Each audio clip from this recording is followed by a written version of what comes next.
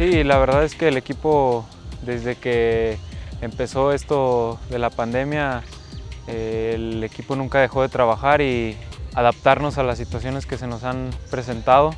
Y como dices, va un mes de entrenamientos y ahora con estos partidos yo creo que el equipo va a llegar en, muy buena forma y, creo que también un poco aventajado a los demás rivales porque también como dices, eh, no creo que ningún equipo haya trabajado como nosotros eh, durante todo este tiempo y pues ganarle a Atlas siempre va a dar satisfacción, pero yo creo que las formas dan aún más satisfacción y creo que, creo que el sábado hicimos un gran partido, sobre todo vi un equipo muy ordenado, tanto el primer tiempo como el segundo, un orden que se vio reflejado en el marcador en el cero atrás.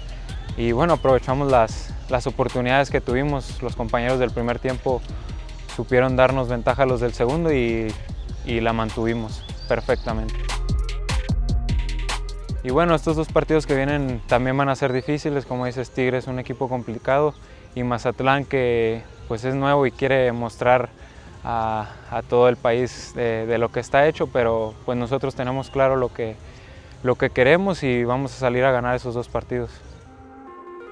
La verdad estoy muy contento, muy agradecido con Dios, con, la directiva y con el cuerpo técnico que, me dan la confianza una vez más eh, este torneo.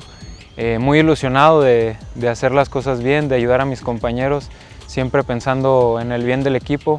Obviamente que, me gustaría aportar eh, lo mejor dentro de mí, pero si me toca estar afuera, apoyar también al compañero que está dentro.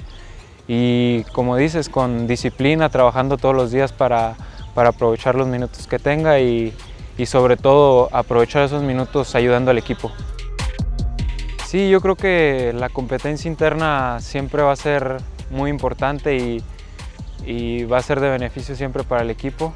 Como dices, hay una competencia interna bastante fuerte, hay grandes jugadores, entonces yo creo que eso beneficia al equipo, hace que todos estén en su máximo nivel y pues si juntamos todo ese talento colectivo, eh, las cosas que vienen para Chivas van a ser muy, muy importantes. Sí, obviamente que que uno está acostumbrado a una posición, pero, pero el fútbol es muy versátil hoy en día y tienes que, tienes que estar preparado para jugar en cualquier posición que, que te ocupe el técnico. Él al final de cuentas siempre va a ver lo mejor para el equipo y si te está poniendo en una posición es porque él cree que es lo mejor. Y obviamente que yo encantado de jugar hasta de portero. Estar dentro de la cancha es, es algo algo inigualable y, sea de portero, sea de delantero, eh, cualquier posición es un orgullo estar dentro de la cancha con Chivas. Eh, está para ser campeón Chivas y, bueno, eso es lo que tenemos nosotros en mente desde el torneo pasado que quedó cancelado, desde que empezamos la pretemporada. En Cancún, ¿te acuerdas? El objetivo siempre ha sido ser campeón y y bueno, empezamos ahora un nuevo torneo, pero el objetivo es, es el mismo.